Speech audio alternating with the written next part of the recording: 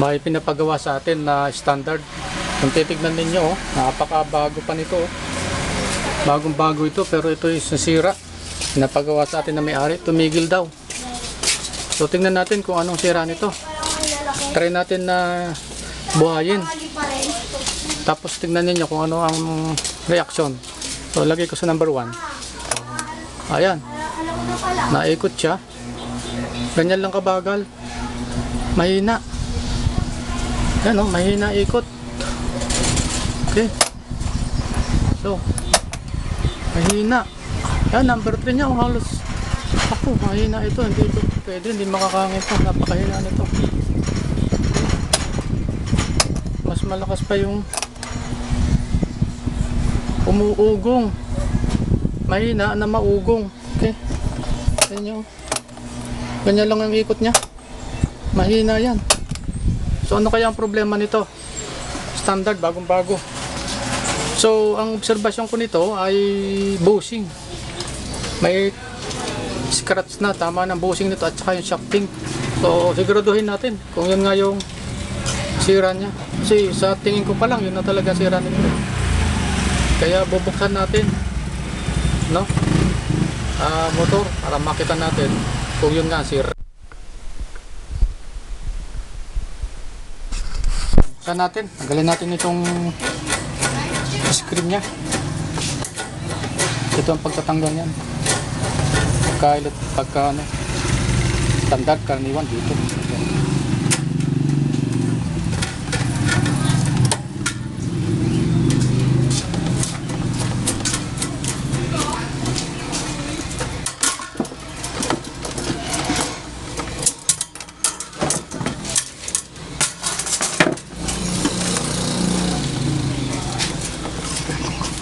Bago pa oh. Ay nako. Ah, ang grabe ng kalog. So may sira ito sa loob talaga ng motor. Tignan ninyo. Oh. Hindi dapat ganyan ang play niyan. So may nangyari yan dyan. May natanggal yan dun sa may shafting. Yan ang alamin natin. So yun.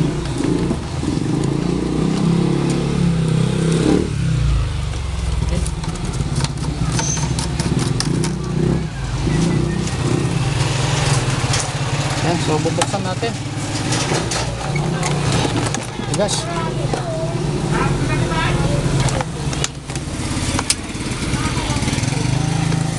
Tigas nito. Galing.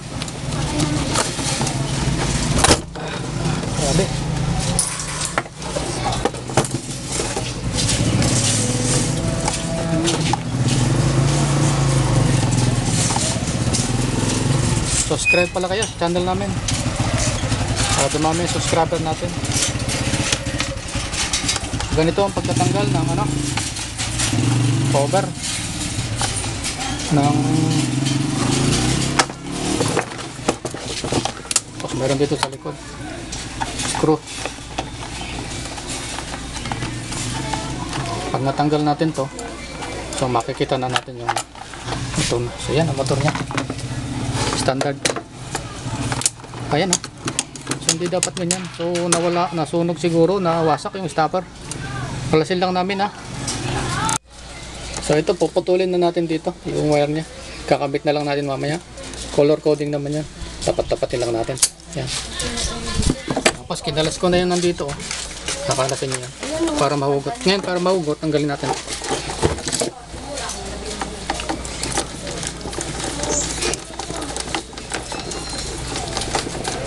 Ah, Lagyan natin tapos sugutin na natin. Kulang pa.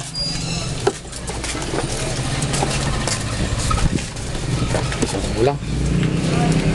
Lagyan natin. Tapos natin.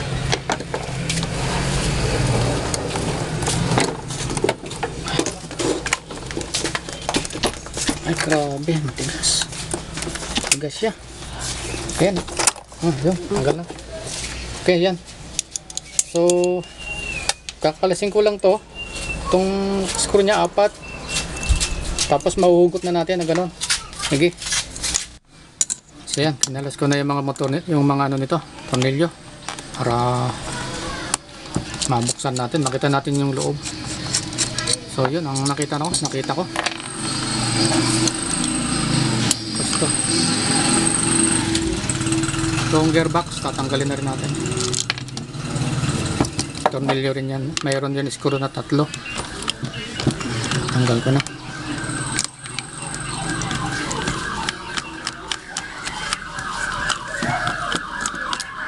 Okay. So, naka, naka yan. O, putulin na rin natin. So, dito na natin putulin. Kubit na lang natin maya. May kulay naman siya. Ito, tanggalin natin.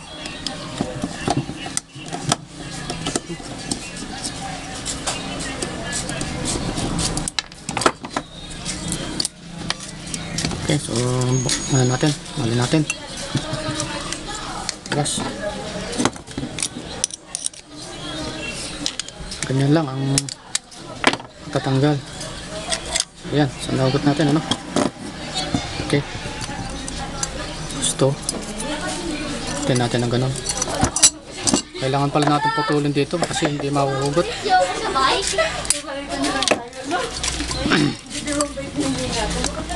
So yan, motor niya. Coil. So, kung mapapansin ninyo dito, dito may problema. Okay. Yung, na ganito, yung ganito niya, nandun, nawasak. Siguro sobrang init, nawasak. Kaya yan, oh, wala. Kaya gumaganon, ganon. So yun, papaltan natin to, talagyan natin ng ganon. So yun ang sira niya. So ito, napansin ninyo, may ganito siya.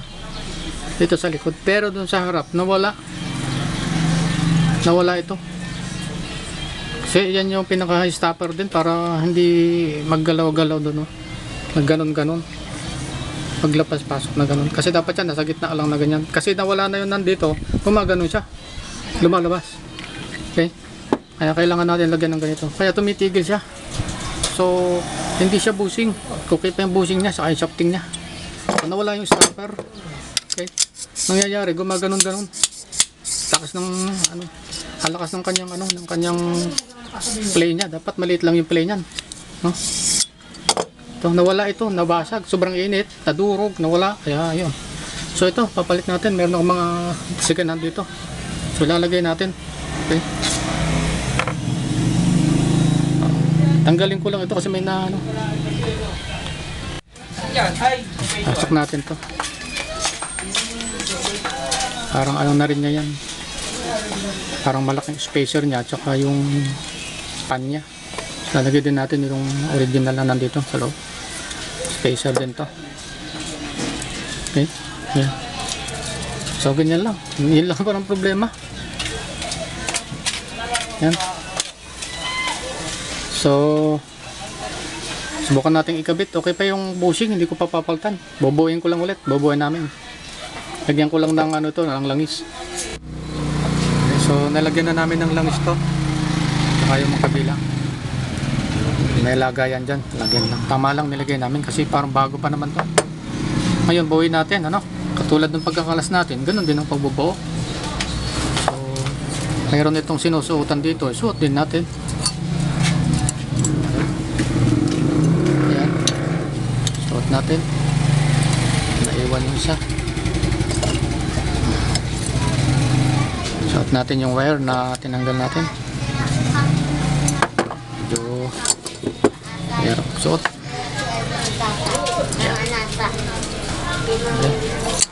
Ayan. So yan, tapat natin. Tapos lagay natin itong rotor. Ayan. Tapos lagay natin ito.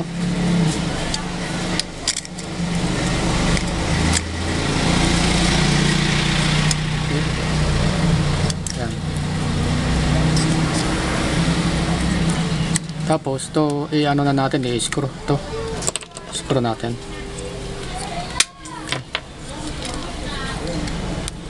Ayan, sakto lang oh. Tama.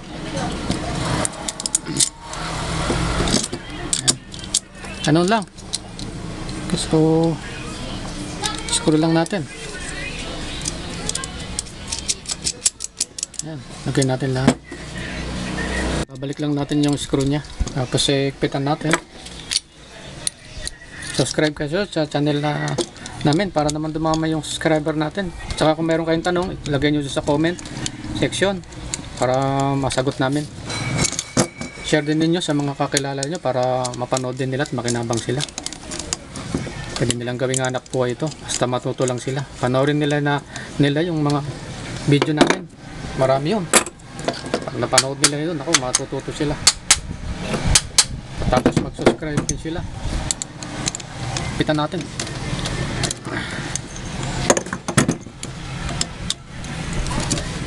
Ayan.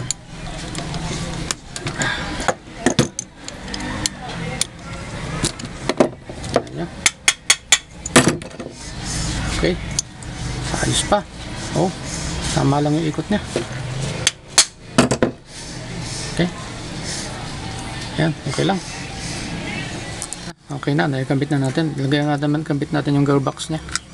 Sa iba-iba ang gearbox. Itong standard, ganito ang gearbox dito dito. Ah, bago-bago nito. Yun lang ang sira. Sobrang gamit na may-ari. Maaring wala ng pahinga. Kahit bago. Lumutong yung pinalitan natin na yun. Lumutong, nabasag. Napulbos. Hindi ko na nga nakita kung nasaan eh. Napulbos. Kaya pala ayaw siyang umikot kasi yung rotor kumikilos. Ang laki ng play. Hindi talaga. Ganun lang talaga kahina ang ano nun, ikot nun. So yun, ang isa sa dahilan. Hindi pala laging busing. Kasi suspect ko busing eh. Pero naibuo ko yung shafting niya nako. Yun na. Yun ang problema. Ayan, balik lang natin. No? Tapos, sa wiringan din natin na maya. Balik din natin yung wiring. Ayan, tapos lagay natin sa ano. Ito sa stand niya. Ito.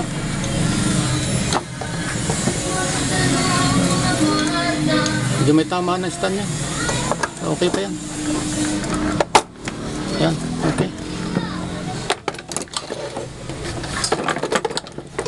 Mamaya, lalagay natin yung ano.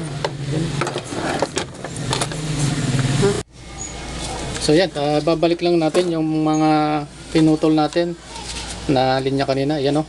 Ito yung papuntang capacitor, dalawa. Itim at pula. Tapos ito yung papuntang switch. So, pagpatugtungin lang natin. Opening us candy.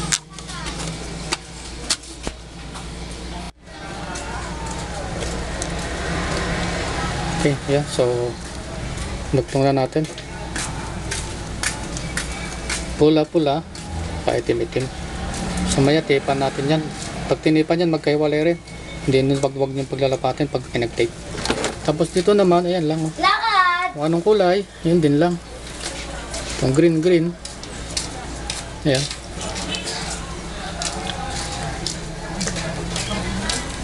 Green green.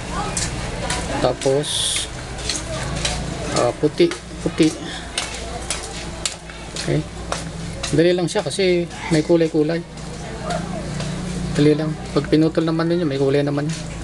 Sa ulang, sa uli lang ninyo. Kala ko busing ang sira. Kaya binuksan natin eh. Hindi pala. Yung palang ano niya, ano sa loob, yung parang pan, pinakpan niya. Nadurog yung sa una. Kaya ang lakas ngayon ng play. Eh, hindi ikot ng mabilis. So yun, nasasasira din. So, natuto tayo, no? natuto na naman kayo. Okay, ganon.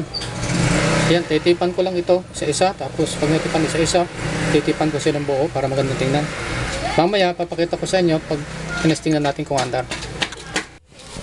Mm. So yan, natipan na natin, ano? Ayan o. So mamaya kung dala papal na yung tape. Tsaka yung sa capacitor na dalawa. Anong try natin kung okay yung ating ginawa. Ilagay natin sa 1. Tapos tignan ninyo.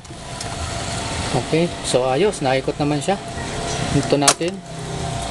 3. So ayos. So okay yan. Okay na. Yun lang yung sira niya.